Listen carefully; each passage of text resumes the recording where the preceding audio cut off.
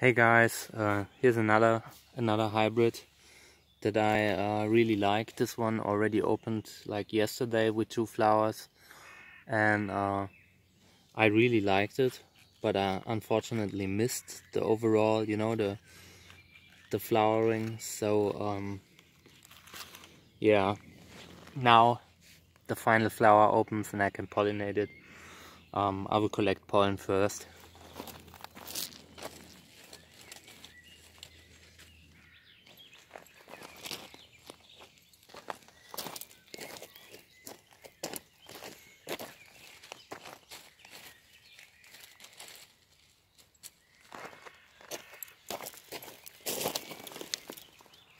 I will probably lean it over a bit because it makes things a lot easier.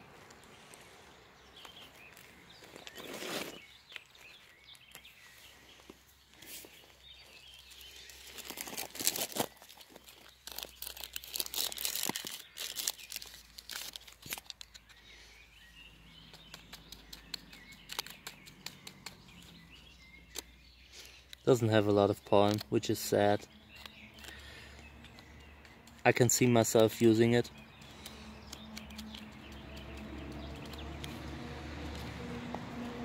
It does have a little bit. So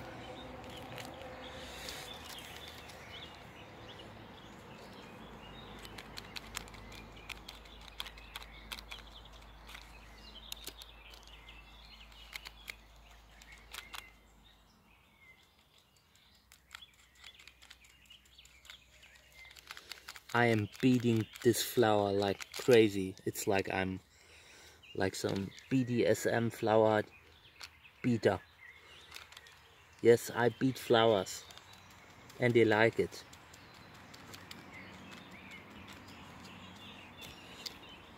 No, I treat flowers very nicely. I'm a I'm a flower fan and I I asked them out for dinner if I could. So um, yeah. That's enough pollen I mean I I don't think I will make more than one or two crosses with it.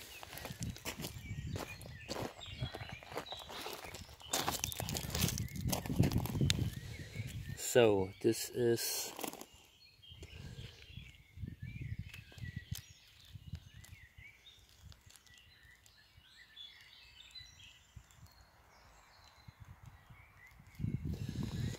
Okay, so um, yeah, um, I will pollinate it with pollen of the of the hybrid Volta Lake crossed with Cantora Gelb. I'll get some.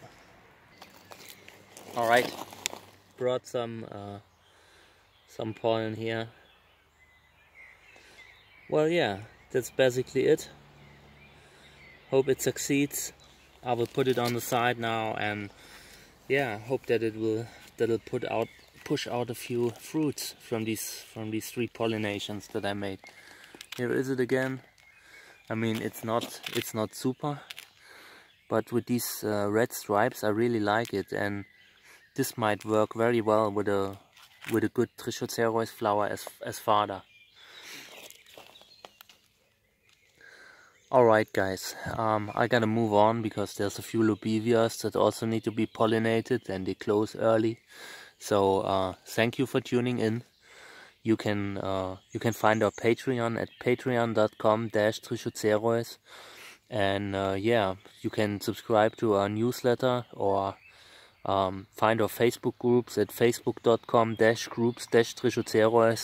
Just good stuff there. Okay, take care. Bye.